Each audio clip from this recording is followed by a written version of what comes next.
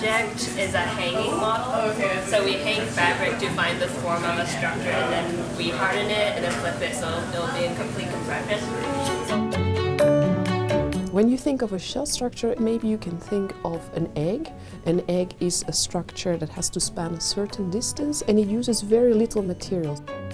The first shells really came about in Germany in the 1920s.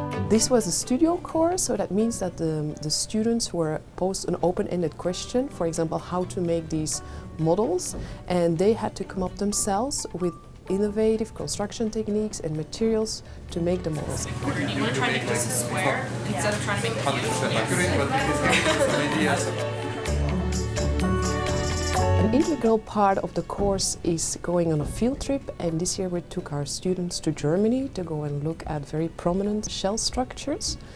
In engineering, students usually don't go on field trips, but in other disciplines like art and architecture, students are encouraged to go and see the works of Monet or uh, Le Corbusier.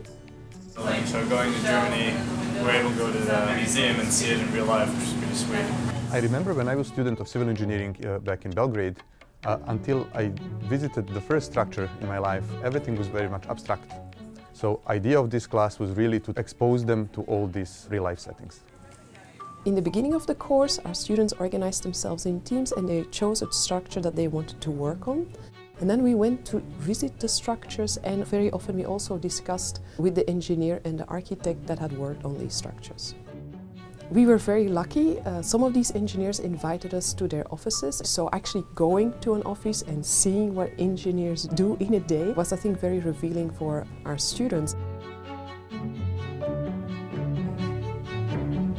This is our exhibit.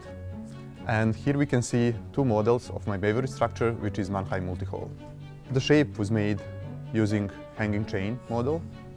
First, the structure was built in a plane and then it was lifted from the inside in order to get its final shape.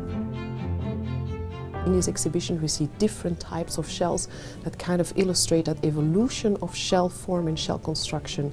For me a very interesting moment was when we went to visit the ILEK in Stuttgart. They had a very large plywood shell there that could move depending on the environmental conditions. So this shell could become larger or taller in function of the weather conditions.